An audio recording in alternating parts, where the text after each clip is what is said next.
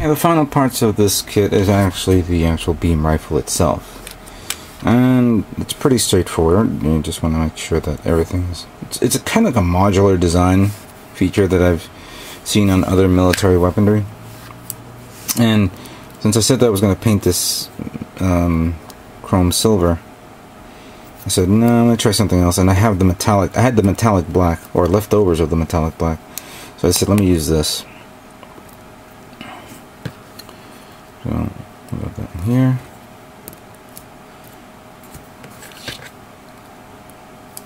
Something like that. And then finally the uh, clear part, which I just sand down a bit left over and just stick it in. There we go.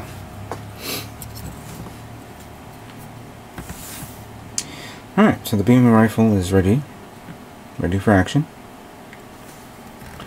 Pretty much, let's now move on to the final assembly. Okay guys, it's it's now the moment of truth. It's time for me to put the Victory Gundam together.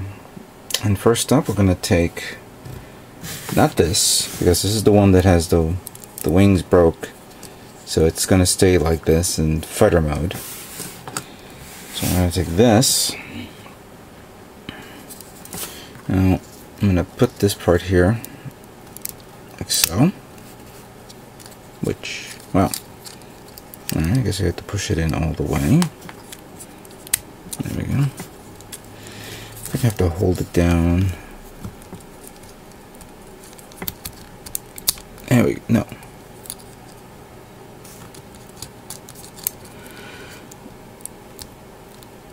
Um, why don't you want to go in? Great. Alright, damaged part of the head. Actually, you know what? I'm going to leave it the way it is. Because then I have to transform this. So supposedly, I got to bring this up like that pull this up and carefully push this in actually no hold on now I know I have to push this part up oh great the thruster came out well I'm not gonna bother with that I'll push this like that until it's like this Oh, and then I gotta push this one in, so I think it locks the um, thing into place. So continue to push, push, push, push. Come on.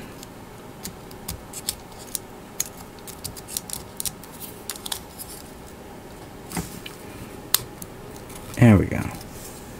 Then I guess I have to pull that in there until it locks into place. Now I can put the head on. Let me just bring this down. Ah. Are you kidding me? You don't want to go in? Get in.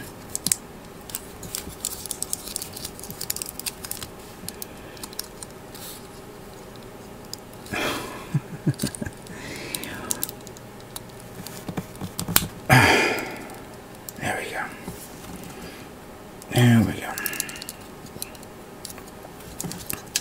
Alright. So I guess that's pretty much it.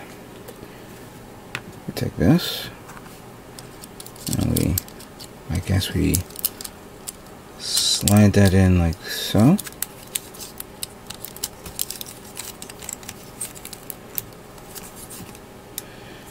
um of course if I look at the instructions properly I could probably see what how this does how the work is okay so I got to somehow turn this like that turn this like that so I can open up the fuselage a bit. Make sure this one all the way in. And then put this in like so.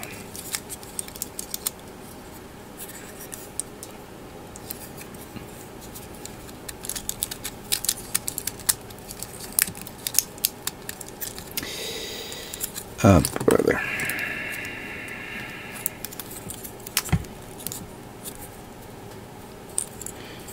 You would think that this would be this easy.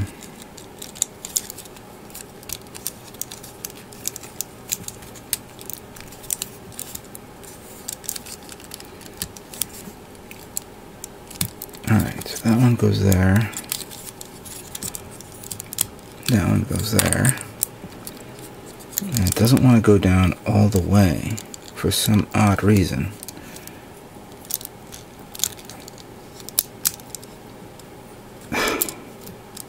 kidding. Alright, let's try that again. That goes like that. That goes like this. Let me pull him away a bit. Are you serious? Is this going to take an entire uh, a entire 15 minutes to see if I can get this thing inside? It's ridiculous. Alright.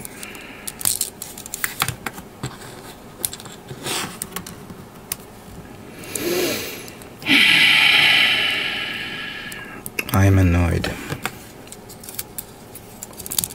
Alright, so you're down there. That's understandable. This one comes down and shimmy in that in there. Fine. There we go. Now these things supposedly supposed to lock into place. Why they're not locking into place, I don't know. There we go. I think we got it. This one we need to flip up a bit like so. Carefully. So it looks like this. Or I think it has to go like that, regardless. Alright, never mind. So that's fine. And of course the thruster is coming down like this. This came out, and with so reason, it broke. Alright. Let's assemble the foot, the legs, I mean.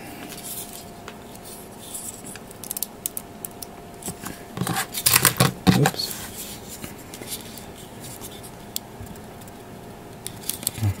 Right. And supposedly, this one, how does this work? It goes through there? Yep. Goes through there and then it locks into place like that.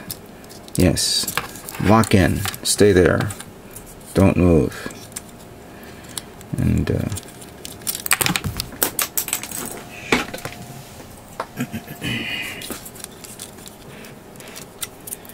who's messaging me?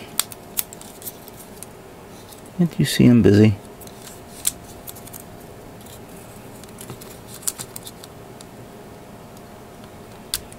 Ah.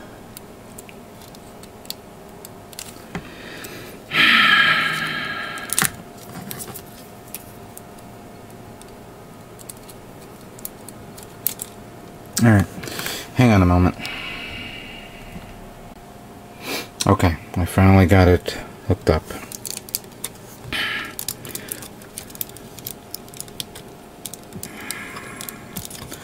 Don't know why you don't want to come up. Oh crap. That's Alright Let's put this arm in, which that pops out. Oh, wow. I'm going to tell you something, guys. I I could easily have edited this video, but I'd rather show you all the nonsense, all the bullshit. I don't hold nothing back. I let you guys know or show you what I what I have to go through to make a kit like this. Even if even if people dislike what they're seeing, this is how it works. I'm truthful to my to my build. All right, here uh, here you have it. the one 100 scale master grade Victory Gundam from the Mobile Suit Victory Gundam animated series. Custom paint job in blue with gold. Um, yeah. Everything on this kit came out pretty well based on the colors that I have chosen. Stayed with the red, replaced the white with blue, replaced the blue with gold. So the gold trim came out pretty nice. The blues came out pretty good and everything else. Yeah. Everything came out nice. So why I'm not feeling this kit? This kit has been annoying as fuck. And yes, I said it. Um, as much as I've, as much as I try to give this kit the benefit of the doubt, many things on this kit has failed on me consistently. Um, part of it has been my fault in regards would be not paint, not putting the movable parts, together and then painting them because you run the risk of damaging them while they're solidified, you know, the paint is solidified and then holding on to the part. As we all saw here in the elbow, here in this little part that broke off, even the shoulder armor, and now this part of the armor broke off as well. Uh, I, I, I, I'm annoyed. I am really annoyed. I haven't been this annoyed since I tried to build a GD model. For those of you who know what that is, it's a really, really bad knockoff of a Gundam kit. Um, on its own, I could imagine it would have been a, a great kit to build um, with no painting, no whatever. Maybe the painting would have worked well, but it, the inner frame I should have left it alone. Maybe if I would have painted the uh, inner frame separately, how it is, that's fine. But it is way too small for the size based on its scale. Um, if this kit was a perfect grade kit, it would have not given me this trouble. As a matter of fact, the perfect grade kit will probably be the same height as, as the new uh, the new Gundam kit Ver.Ka that's coming out soon. But when you have a kit that's literally about, well, let's say, see, let's put this in the comparison. Here's a high grade kit. So this kit could be a supersized high grade kit. Um, but it's not because look at the scale. Yeah, even though it is a master grade kit, it's smaller than other master grade kits like the Dark Titus here.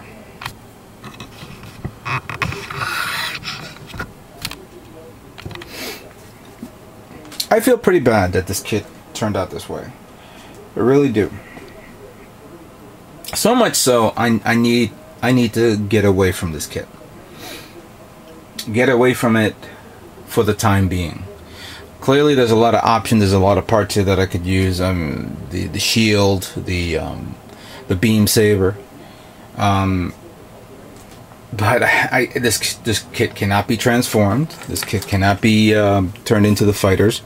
I could probably remove the head and put on this um, the hexa head the um, you know the other optional head. But I'm so done with this kit that I, I just don't want to look at it anymore now I know the reason why I want to get. I was trying to sell this kit. The core booster, uh, I'm not faulting the core booster because the core booster has not given me any problems. Um, I'm not going to build it now because I ran out of paint, paint specific for this kit. Why can't this head go in there? Oh, never mind. But um, I'm going to pause for now and I will recontinue the build of the Victory uh, the V Gundam Core Booster custom build at a later date. Don't know if this is going to be this calendar year. It may be next calendar year. But in in the meantime, I'm just going to work with what I got. I'm gonna, it's uh, I'm done. I'm completely done. I I need to move on. I need to refresh myself. I need to do a straight build just to get the taste out of my mouth from this kit. With that being said, I'd like to thank everybody who has been watching this series and uh, so you know I don't like to hold back on anything. I will I will show you my mistakes, whether it's a mistake on the kit or a mistake on my part. Partly this kit's mistake uh, I, I, I take half responsibility. The other half is it's not a perfect it's not a perfect kit. But again, thanks for watching and stay tuned for more Gundam models yet to come. Take care.